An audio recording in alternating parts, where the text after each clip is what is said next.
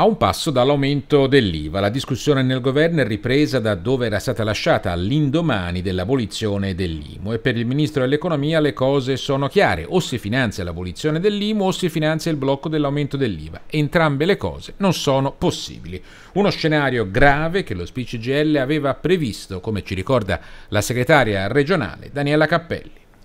La proposta che avevamo fatto in qualche maniera era di intervenire sull'IMU ancora una volta in maniera equa,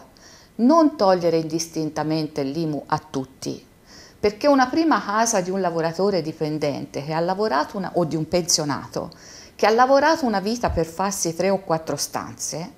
non sono la villa a 200 stanze che si, qualcuno può vantare anche di quelli che sono in Parlamento. Allora, eh, se fosse stato fatto un, adottato un meccanismo per cui all'interno di questo ragionamento si teneva conto di una franchigia per quanto riguarda la prima casa e poi una progressività anche di questa, eh, di questa tassa, chiamiamola così,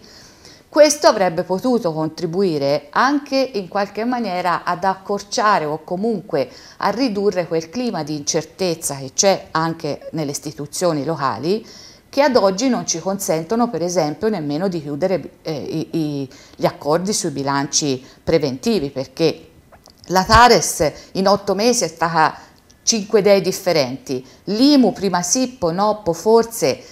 c'è un problema grande, c'è un problema grande. La prima rata dell'IMU è stata sospesa. Oggi abbiamo due appuntamenti, una è l'IVA e l'altra è la rata dell'IMU di fine anno. Togliere l'IMU ha voluto significare che per, siccome le entrate dell'IMU l'anno scorso erano state per l'82% da eh, abitazioni di gente, di persone facoltose, quindi di abitazioni di lusso, è evidente che togliere l'IMU sulla prima casa si sono avvantaggiati soltanto chi aveva redditi altri, alti. Se invece si fosse fatta un'operazione di progressività e di franchigia, questo avrebbe potuto in qualche maniera avvantaggiare le persone meno abbienti e tener conto dei bisogni anche degli enti locali per poter fare quelle politiche sociali che ancora una volta sono necessarie ai cittadini delle fasce più deboli e più in difficoltà.